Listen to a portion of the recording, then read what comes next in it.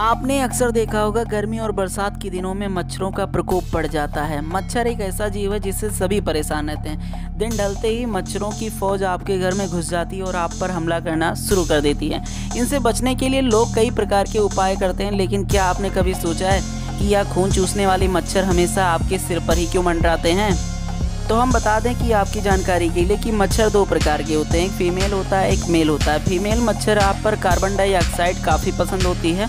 ऐसे में जब भी आप कार्बन डाइऑक्साइड छोड़ते हैं तो सिर के ऊपर उड़ रहे फीमेल मच्छर को इसकी गंध काफ़ी पसंद आती है। सिर के ऊपर उड़ने वाले मच्छर का एक कारण और है, जिसका नाम है पसीना। मच्छर को इंसान के शरीर से निकलने वाले पसीने की गंध काफ़ी अच्छी लगती है। आपने अक्सर देखा होगा कि जिम कसरत करने के बाद में जैसे ही आप बाहर निकलते हैं तो मच्छरों की टोली आपके सिर घेर लेती है।